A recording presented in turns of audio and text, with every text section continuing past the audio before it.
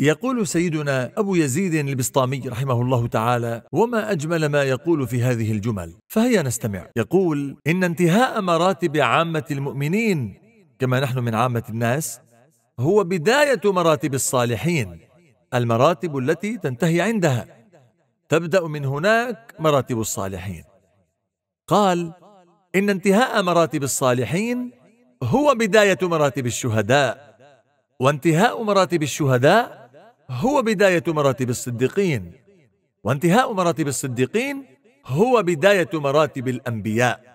قال وانتهاء مراتب الأنبياء هو بداية مراتب الرسل وانتهاء مراتب الرسل هو بداية مراتب أولي العزم وهم فئة قليلة من الذين يتمتعون بالمقام العالي عند الله. وانتهاء مراتب أولي العزم هو بداية مراتب سيدنا محمد صلى الله عليه وسلم.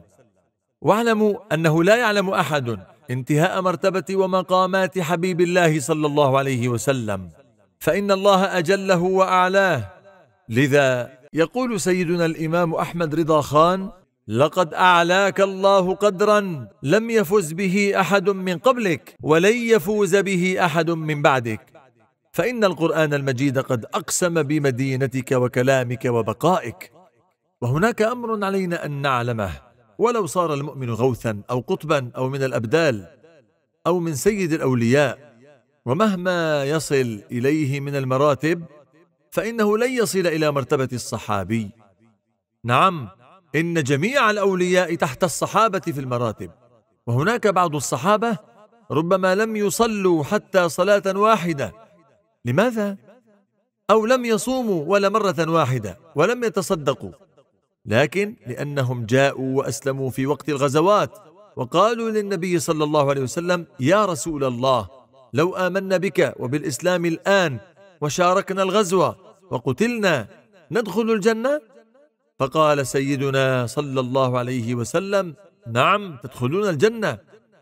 فنطقوا بالشهادتين وقاتلوا في الغزوة فاستشهدوا ولم يصلوا ولم يصوموا وقد أسلموا قبل لحظات لكنهم فازوا بمرتبة عليا تفوق الأولياء والأقطاب في العالم ما السبب؟ ولماذا يا ترى؟ فإن الغوث صلى الصلوات طوال حياته وصام وتلا القرآن طيلة عمره واقرأوا سير الأولياء فإنها مليئة بالمجاهدات والرياضات وبعض الصحابة لم يصلي ولا صلاة واحدة. ورغم ذلك فهم أعلى رفعة من أقطاب وأبدال العالم كله. الله أكبر. والجواب أنهم شاهدوا جمال الحبيب الأعظم والنبي الأكرم صلى الله عليه وسلم وصاحبوه صلى الله عليه وسلم. انظروا إلى مقام النبي المصطفى صلى الله عليه وسلم. من زاره وصاحبه للحظة ازداد رفعة على أولياء العالم فما أعلى وأجل مقام النبي المصطفى صلى الله عليه وسلم.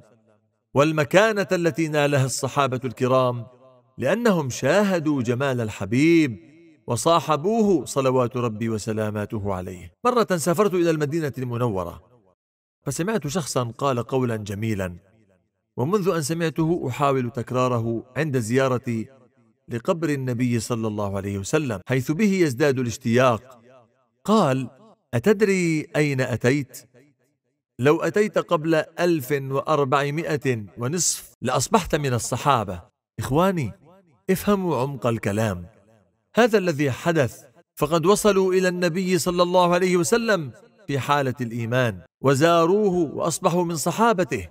حسنا لسنا اليوم على تلك المكانة. ولكن حاولوا أن تفهموا أهمية ذلك المكان وروحانيته فإنه مكان تعم فيه الرحمة والإكرام.